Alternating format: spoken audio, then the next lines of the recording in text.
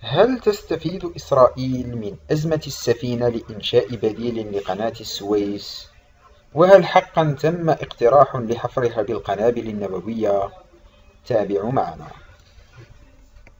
إيجاد بديل إسرائيلي لقناة السويس أو قناة السويس الإسرائيلية كان أمرا يناقش في إسرائيل حتى بعد تعطل قبل تعطل قناة السويس بسبب جنوح سفينة عملاقة داخل ممرها الملاحي واكتسبت هذه الفكرة زخما بعد التطبيع الإسرائيلي مع الإمارات. واليوم مع تعطل التجارة العالمية برمتها يتم تسليط الضوء على فكرة إيجاد بديل إسرائيلي لقناة السويس. سواء كان هذا البديل خليطا من الخطوط الملاحية والقطارات وأنابيب النفط والغاز أو حفر قناة موازية لقناة السويس المصرية. ويرى الكاتب أندرو جوس في مقال في صحيفة The Times of Israel الإسرائيلية نشر في نوفمبر 2020 أن قضية بناء بديل إسرائيلي لقناة السويس أو ما يسمى بقناة السويس الإسرائيلية وبالتالي إنهاء احتكار مصر لعبور البحر الأحمر إلى البحر الأبيض المتوسط. سيفيد اقتصاد إسرائيل والعالم وتفيد العلاقات الدولية والوضع الأمني لإسرائيل حسب قوله.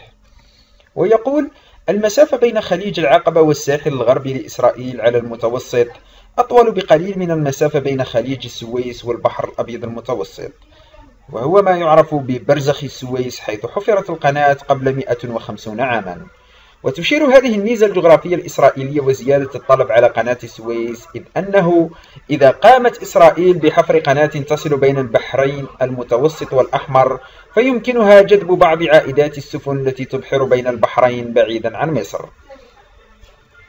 ويعدد المنافع الاقتصادية التي ستأتي من تأسيس بديل إسرائيلي لقناة السويس كما يزعم أن فوائد ما يطلق عليه قناة السويس الإسرائيلية ستعود على كل العالم لافتا إلى ظهور تقارير في الأشهر الأخيرة عن تجنب السفن للسويس بالتجول في جنوب إفريقيا واختيار وقت سفر أطول بسبب الرسوم التي تصل إلى 700 ألف دولار لبعض السفن. وقال إن وضع مصر شبه احتكاري وطلب غير مرن نسبيا على القناة يسمحان لها بفرض رسوم عالية دون التعرض لخسارة كبيرة في الطلب. ويرى أن هناك ميزة لإسرائيل من إنشاء هذه القناة وهي أنها يمكنها استخدام المعرفة المتاحة عن وضع قناة السويس لتخطيط مجرى ماء بتكاليف تشغيل أقل وكفاءة وقدرة أكبر. ولا تتمتع مصر بهذه الميزة لأنها تمتلك بالفعل قناة السويس وقد تتطلب التعديلات تغييرات باهظة الثمن ومدمرة حسب تعبيره. ويضيف سيضمن الممر المائي أيضا أن يكون للدول الأخرى مصلحة عقلانية في حماية الأمن الإسرائيلي لأن تهديد إسرائيل سيهدد القناة وبالتالي التجارة العالمية. لذلك سيكون لديهم مصلحة في العمل ضد القوات المعادية لإسرائيل. أما عن تأثير إنشاء بديل إسرائيلي لقناة السويس على العلاقات بين تل أبيب والقاهرة فيرى أنها قد تؤدي إلى توترات قصيرة المدى بين البلدين. وهو وضع متوقع عندما يدخل لاعب جديد في سوق يهيمن عليه أحدهم لفترة طويلة. ومع ذلك على المدى الطويل مع قيام مصر بتحسين قناة السويس لتسهيل انخفاض الأسعار وزيادة حركة المرور جراء المنافسة سيتأقلم كلا البلدين على التعايش في السوق.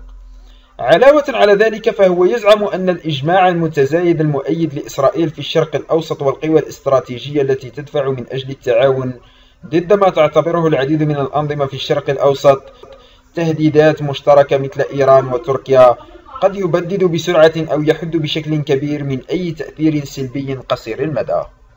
اقتراح لحفر قناة السويس الإسرائيلية بواسطة القنابل النووية.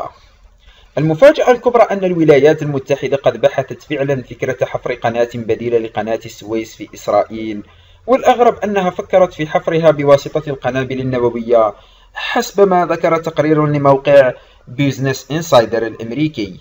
فلقد كشفت مذكرة رفعت عنها السرية عن هذه الخطة الأمريكية التي طرحت سنة 1963 أي بعد أقل من عقد من أزمة السويس والتي نشبت جراء العدوان الثلاثي من قبل بريطانيا وفرنسا وإسرائيل على مصر والذي بدأ عبر افتعال تل أبيب لحرب في سيناء. استغلتها لندن وباريس لاحتلال قناة السويس لفرض سيطرتهما عليها وذلك بعد قرار جمال عبد الناصر تأميم القناة. وفقا للمذكرة فإنه كان سيتم حفر أكثر من 160 ميلا باستخدام المتفجرات النووية لإنشاء بديل إسرائيلي لقناة السويس وهي قناة تمتد من البحر الميت عبر صحراء النقب وتصل البحرين المتوسط والأحمر. وحسب حسابات فنية نظرت الولايات المتحدة في اقتراح باستخدام 520 قنبلة نووية بدلا من تكلفة الحفر بالطرق التقليدية التي وجد أنها ستكون باهظة. ويقول الموقع الأمريكي لم يتم تنفيذ الخطة لكن وجود ممر مائي بديل لقناة السويس كان من الممكن أن يكون مفيدا اليوم.